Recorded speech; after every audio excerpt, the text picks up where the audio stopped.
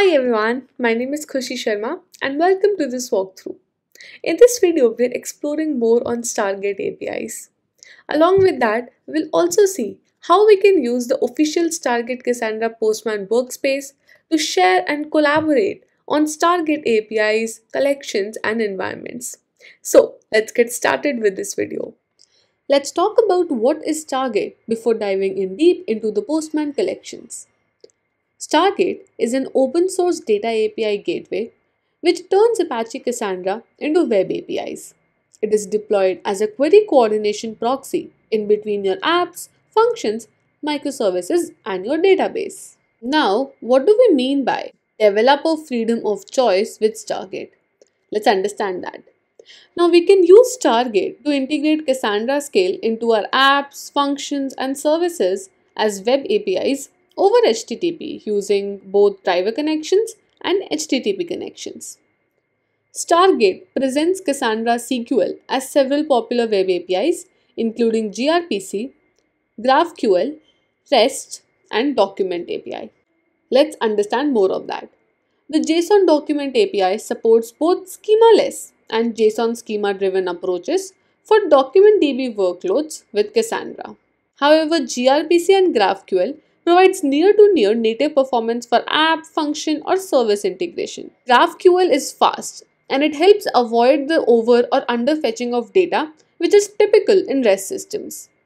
REST is great for front end JavaScript, Jamstack developers, or even when you don't have a supported driver for gRPC client for your language. You can learn more about how to choose the right API for your project in the blog post linked below in the video description. Now let's start with the Postman collection. Firstly, let's go to Postman and here let's search for DataStax Stargate. As we can see here is the Stargate Cassandra collection. Let's click this to expand more details. And here we are. This is the official Stargate Cassandra workspace available on Postman. Uh, the link for the same is also available in the description box below. Now before we go ahead and start testing this, let's also do a quick walkthrough of the whole Postman workspace. Please note that this is the admin view for now. Moving forward, we'll see how to actually use it. Now we can use this Postman workspace to share, collaborate on Stargate APIs, collections, environments. This workspace also provides the NoSQL database developers with wide column document and key value database models using Postman, Apache Cassandra, and Stargate. Here you can see we have different collections available including specific examples of the Document API, GraphQL API, gRPC API, and REST API as well. Each of these collections also consists of specific requests which we'll explore further. And please note that the document API library is in active development. So for now, we'll just use the document my world example. Now we also have another section for environments. Now an environment is just a set of variables we use in our postman requests. We also use this to group related set of values together and we can also manage access to shared postman data. Now it's very important to select the correct environment because it will consist of a specific set of values which will be used by the postman request pertaining to some specific examples used in the collection. For example, here we have two environments, Astra API environment and the OSS API environment. For this walkthrough, we will only be using the Astra API environment. Although here the default values will work, but we can even override these values if needed for any certain case. We can ignore the other environments for now. The only other one we'll need is the Stargate OSS API environment and that only if we want to run Stargate and Cassandra locally. Otherwise, we will be only using the Stargate Astra API environment in this walkthrough.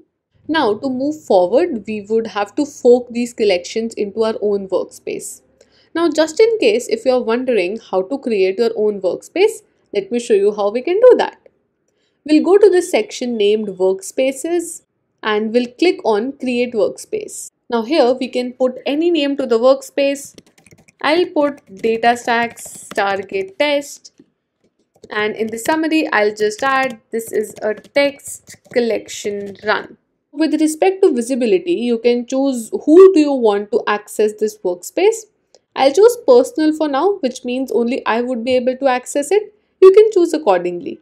And now we'll click on create workspace. And now as you can see, my new workspace is created and this is personal, which means only I would be able to access it. Now let's get started with the Postman collections. Now we are back on the Stargate Cassandra workspace. Let's try forking these collections into our personal workspace that we just created. To do that, we'll click on the three dots here and we'll click on create a fork. We'll let the fork label be Khushi Sharma's fork and we'll select the workspace as the new workspace that we just created which is DataStax Stargate Test. Now we'll click on fork collection.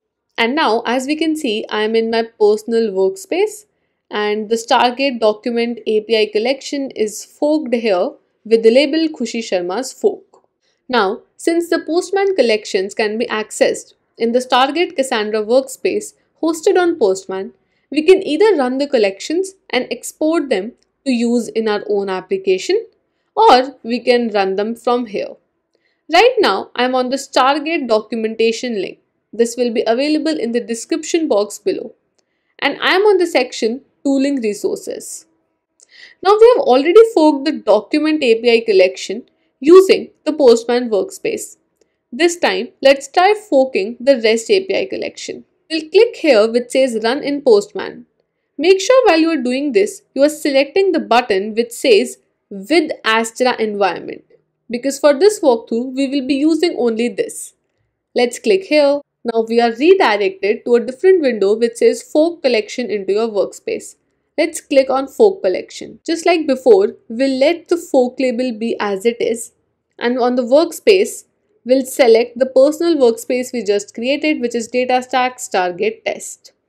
Let's click here and as we can see, we are again in our personal workspace and this time the Stargate REST API has been forked. Now with the REST API, we have also got the Stargate Astra API environment forked here in the environment section. We can also do the same from the Stargate Cassandra workspace following the same method we used to fork the document API. Now that we have forked all the four collections, that is the document API, the GraphQL API, the gRPC API, and the REST API collection in our Astra API environment, we are good to go with the next steps of actually running these collections. Now it's important to realize that Stargate runs alongside a Cassandra cluster in between our application and Cassandra database. We highly recommend using AstraDB since Stargate is already set up and it runs as a managed service. Postman environments are also provided for us in order to run on AstraDB in the team space. So let's try using this as a service on DataStax AstraDB where both Cassandra and Stargate are automatically set up for us. To move forward, we'll go on DataStax Astra dashboard. You can easily sign up or log in on DataStax Astra using the link mentioned in the description box below. Once we are here on the dashboard, we'll go to the databases section and we'll click on create database. We can enter the basic details including the name and the key space name. Now next we'll have to select a provider and a region. You can select a region accordingly. I'll choose Asia Pacific Mumbai India and as you can see I am on the current plan which is free for now. Let's click here which says create database and now our database has been successfully created. It's in the pending state, which means the token is getting generated for now. Here are our database details.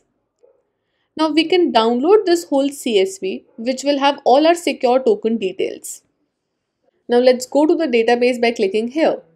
Now it's still in the pending state, so let's wait for it to get active and we'll move further. As we can see, our Stargate database is active so let's move further. Now in order to set up access control for the new key spaces, we'll go to our Astra DB console and we'll select organization settings from here. From here, we'll click on role management. Now we can see we have custom roles available according to our databases. In our case, we just created a Stargate named database. So we'll go and edit this particular role. We'll click on select all which will select all the organization permissions. Now here we'll click on apply permissions to all databases in this organization, which will again select all the 45 permissions. Let's click on edit role to save. Please make sure that this is strictly for development and instructional purposes and this should never be used in production. Now once we're done with that, we'll again go back to our database and we'll create a few more key spaces according to our Stargate collection. To do that, we'll move over to the key spaces section and we'll click here on add key space. Now let us create a my world key space. And as we can see, we have successfully created a key space named my world. Now similarly, we have created three more key spaces named KS1, users key space and library. We'll need all of these in our Postman collections. Now that we're done with this, let's go back to Postman. Now that we're back on Postman, we can see that in our Stargate Astra API environment, we have to update some variable values. Let's do that first. Now with respect to Astra DB ID, we can get this value from our Astra DB console. So let's get back to our Astra dashboard. And here in the databases section, we can find the database ID on the side of our database name. In our case, our database name is Stargate and this is our database ID. Let's copy this and let's change this value here. Please note that both the initial value and the current value would have to be changed with the value that we just copied. Please make sure that you copy the database ID and not the data center ID which is available on the database detail page. The DB ID would only be available on the dashboard where all the databases are listed. Now, with respect to the Astra DB region, we would be able to get this in our database detail page on the dashboard. This is our database region. So let's copy this and paste it in our environment. Now, auth token is the same token that we downloaded when we were creating our database. So in this case, we would have to open the downloaded file and we would have to copy the auth token from there. This was the file that I downloaded when I was creating the database. And as you can see, this is the token label and this is our token. Let's copy this and let's paste it here.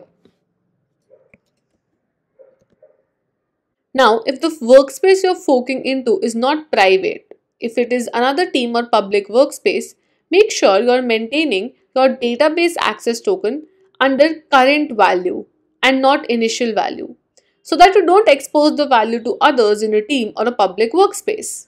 Once we have updated all our variable values, let's save our environment. Now let's start with the document API. The Stargate document API, it modifies and queries data stored as unstructured JSON documents in collections. Now because the document API uses schemaless data, no data modeling is required. With respect to document API, we're using the My World example for this particular collection. Now let's start by running the document API. Now this particular collection has different folders. Each folder consists a group of specific requests. For example, the authentication folder here has a post request to create an auth token. However, the authentication folder and the create schema folder, both of these are specific to Stargate OSS only. So we won't be running this. Instead, we'll try running the retrieve schema folder. Here we can see we have a namespace named as get all namespaces. Now this is a get request and this is how the request looks like. Make sure you have selected your environment here as the Stargate Astra API environment. We can see we do not have any query parameters. We do have the headers for this request and we also have tests for this request. Now to run this, we'll click on this button which says send. Now this sends our request and we would be able to see the response here. Now as we can also see, the test results worked fine, which means this request is working just fine in our case. Now let's try inserting some data. Now here we can see we have a post request which is named as post nonsense stuff and this is how the request looks like. Let's try sending this request and let's see what response do we get. Here we see now that we have inserted our data and the test results also work fine. Let's insert some more data. Let's try a put request here. Let's send this request. because the test results work fine, we are able to insert the data Joey. Now let's try retrieving this data. Let's try running the request get document Joey. This is a get request and now we'll send this. Now as we can see we're able to retrieve the data related to document ID Joey that we just inserted in our last request. Similarly we can delete the data, we can also delete the schema. However, delete schema is also specific to Stargate OSS only. Now that we have an idea of how document API collection works, let's try and run all these requests simultaneously. To that, we'll go to the Stargate document API overview page. We'll click the runner here which says run. Now here we can customize the running selections. We'll untick the first three requests which is specific to Stargate OSS only. We'll do the same with the last one also. Now let's click on Run Stargate Document API My World. And now as we can see, in the first iteration itself, all our requests have worked fine because all our tests has passed. Now that the document API is done, let's start with the REST API. The Stargate REST API example is named as Users Key Space. It contains a sample schema and queries for Stargate's REST API using the key space as users key space and table as users. Now in order to use the REST API, we should create schema that defines at least one key space and even one table that will store the data. So let's get started with that. Again, we have different folders. We won't be using the authenticate request since it's specific to Stargate OSS only. Let's start running a few requests from the create schema folder. Let's see if we can create a table users. This is a post request and this is how the request looks. Let's try sending this. Since all our tests are successful, the table users has been created. Now similarly, we can create uh, different columns. We can create different table indexes. This is with respect to create schema only. Let's try retrieving schema. So what if we try a get request which says get a listing of all tables with defined columns. Here also we do not have any query parameters. So let's try sending this. And this is the response that we get. We get the data of all the tables defined with their specific columns. Here we can see a table users that we just created. Similarly, we can retrieve other details. We can retrieve columns, we can retrieve table indexes. Now with respect to this folder, we have different requests in which we can insert specific data, and we can retrieve that data as well. And the next that comes up is deleting data and schema. Now we'll try to run all these requests collectively. We'll try the runner.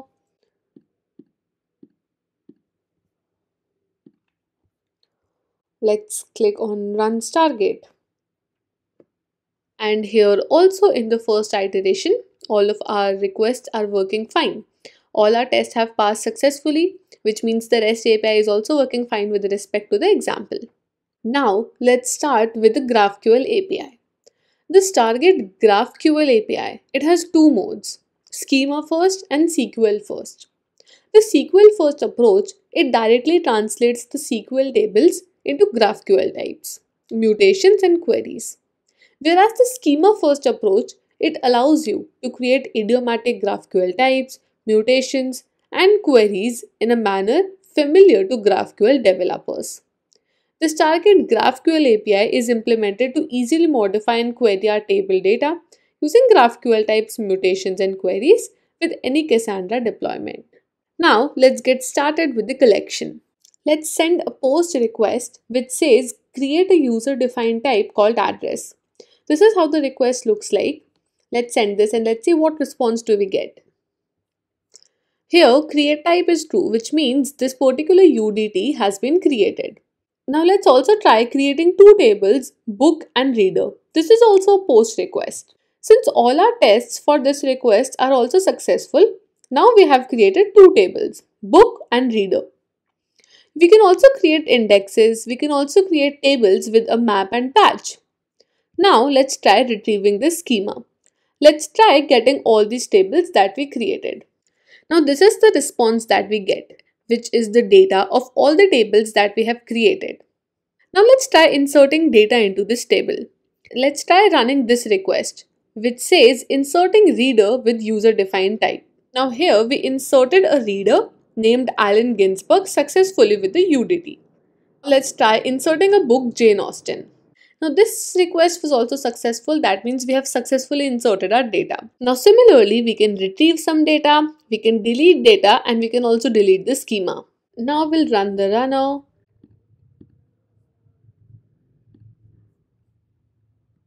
Now for the GraphQL API as well, all our requests work fine. In the first iteration itself, we have been able to run all the requests successfully. Now that we're done with the document API, REST API, and the GraphQL API, let's move to our last bit for this walkthrough, which is the Stargate gRPC API. gRPC is a modern open source remote procedure called Framework. It enables client and server applications to communicate transparently and makes it easier to build connected systems. The Stargate gRPC API is implemented to create language specific queries using CQL with any Cassandra deployment. Now since this is still in beta, a few extra steps will be needed to run this particular collection. Now let's start running our gRPC API. Now once we fork this API to our personal workspace, it's possible the protobuf definitions will get lost. So when examining a specific test, for example create table, we look for the telltale which says select a method. Here there are already some predefined methods, but we'll try to change the service definition. Now from here we can choose to import a .proto file. These proto files are already linked in the blog post mentioned in the description box below. We can just download these files locally or we can also use their URLs in Postman. Let's click on import a proto file. We'll choose a file which we downloaded locally. Now as you can see we successfully uploaded the stargate.proto file from our local system. We'll make sure not to change the file names or dislocate them in different directories as there are import statements that cross-reference the two files. We'll click on next. Now this will prompt us to create an API which we have typically named as Stargate gRPC. Let's click here which says create a new API. Now we have successfully created our API. Let's move over to the API section and yeah, now we have got a Stargate gRPC API. In the definition, we have two files, Stargate Proto and Query Proto. Let's move back to our collection. Let's move back to our test. Now, we'll simply choose our methods from this API. We'll choose the execute query method. Now we'll also make sure to click the lock icon as TLS encryption does need to be enabled. Now that we're done, let's click on invoke and let's see if this is working and this is working just fine. Now since this is not a collection we'll run tests individually. Now we'll move to our next test which is insert data. Let's try selecting a method. Here we'll choose the execute query method and we'll again click on invoke. Again this is working fine we're getting the OK code. Now let's try inserting batch data. Now when we're inserting batch data, we won't select the normal method that we were using till now, which was insert query. We'll use the execute batch method. At times, the Postman collection runner may need to be reminded of which service definition from the gRPC protobuf a given test call is using. So we can associate them and accept the default association also. Let's invoke this. And again, we're getting the status code as OK, which means all these methods are working just fine. And that is how we're also done with our gRPC API. With Stargate, it's easy to integrate your applications, services, functions to tap into the scale, reliability, and performance of Cassandra over HTTP. Stargate modernizes building and managing real time applications with Apache Cassandra by offering developers CQL over familiar web APIs like gRPC, REST, and GraphQL. It also provides developer with a schemaless JSON document API that transforms Cassandra into a document database. It also improves our cluster performance with independently deployable and scalable services coordinator and storage. Stargate is easy to deploy in dev mode which auto configures a Cassandra cluster for desktop development. It's also deployable to bare metal, VMs, Docker, GKE, EKS, Cassandra, DataStax Enterprise. The fastest way to get started is AstraDB, which sets it up for you automatically on the 80GB monthly free plan. So this was it for this particular demo. Thank you so much for watching this walkthrough. In case you have any other questions or doubts, please feel free to reach out to us via the comment section below. See you later. Bye bye.